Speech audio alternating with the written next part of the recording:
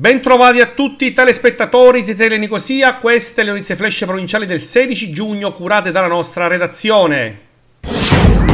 Enna, clamorosa vittoria per il candidato sindaco Maurizio Di Pietro, che nel ballottaggio ha battuto il suo rivale Vladimiro Crisafulli. Alla vigilia l'ex senatore del Partito Democratico partiva favorito, ma gli ennesi hanno scelto di premiare il neo sindaco Di Pietro con quasi 7.500 preferenze, pari al 52% dei voti validi.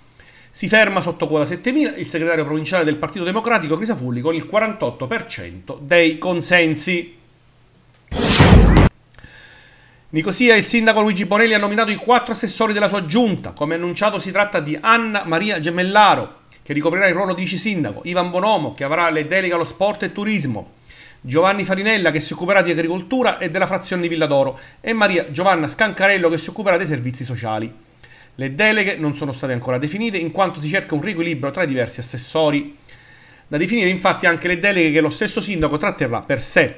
Con questo atto la Giunta è nel pieno delle sue funzioni e può deliberare. Enna, c'è un tredicesimo destinatario del fermo di indiziato di delitto emesso dalla direzione distrettuale antimafia di Caltanissetta a conclusione delle indagini svolte dalla sezione criminalità organizzata straniera della squadra mobile di Enna e dal personale del commissariato di pubblica sicurezza di Nicosia nell'ambito dell'operazione antimafia Discovery. Si tratta del 22enne Mirko Moncalieri, indagato nell'ambito del medesimo procedimento penale per avere in concorso con altri preso parte alla consumazione di una rapina all'interno di una gioielleria di Troina, specificatamente effettuando il controllo delle aree intorno alla gioielleria e predisponendosi per consentire la fuga dei tre esecutori materiali ed ancora per avere in concorso con altri portato illegalmente in luogo pubblico più armi da sparo anche clandestine in entrambi i casi con l'aggravante di aver commesso il fatto al fine di agevolare l'attività dell'associazione di tipo mafioso Cosa Nostra. Il Moncalieri, trovandosi in Germania per motivi di lavoro, era sfuggito alla cattura nel corso della menzionata operazione Discovery eseguita nelle prime ore della mattinata dell'11 giugno. Tuttavia, per il tramite del legale di fiducia, aveva fatto sapere di volersi consegnare alla Polizia di Stato. Così gli agenti della squadra mobile di Enna, unitamente a personale dell'ufficio di polizia di frontiera, in servizio presso l'aeroporto di Catania Fontana Rossa, lo traevano in arresto presso il predetto scalo aereo, allorché il Moncalieri, di rientro dalla Germania, faceva ingresso nell'area aeroportuale. Enna, un gesto di buonsenso che non deve essere inteso come atto di solidarietà. Così il commissario straordinario della ex provincia di Enna, Pietro Lo Monaco, che ha deciso di rinunciare alla sua indennità. Con il massimo della discrezione, lo monaco tiene a precisare che è solo una minima parte di un grande problema che non posso risolvere personalmente, ma che voglio contribuire a portare avanti sul tavolo della politica regionale.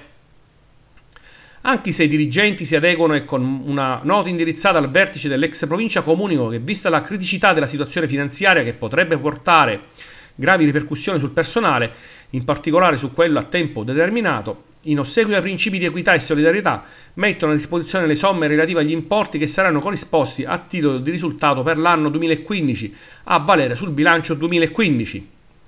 In assenza di bilancio sono a disposizione appena 125.000 euro per far fronte alle funzioni principali in capo alle ex province che riguardano la viabilità, 1100 km di strade provinciali, la manutenzione e gestione delle scuole e i servizi per portatori di handicap. Servizi che qualora la situazione finanziaria non si assesti e non si risolva non potranno essere garantiti nei prossimi mesi, relativamente alle scuole già all'apertura del prossimo anno scolastico. Cerami, giovani musicisti in erba delle classi prima, seconda e terza, ad indirizzo musicale della scuola media di Cerami, hanno approfittato del prestigioso teatro di Mascalucia per mettere alla prova il loro talento, la loro passione nella dodicesima edizione del concorso nazionale musicale Tutt'Arte 2015.